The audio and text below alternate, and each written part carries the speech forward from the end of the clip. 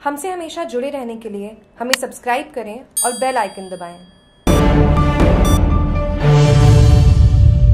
कई महीनों बाद पहुँचे अष्टम व अष्टम के विद्यार्थी विद्यालय में प्रवेश करने पर स्वागत किया गुरु ने। कोरोना काल अब तक करीबन 11 महीने बाद विद्यालय में पहुँचे कक्षा अष्टम व अष्टम के विद्यार्थी गुरुओं ने प्रवेश में उनका स्वागत किया।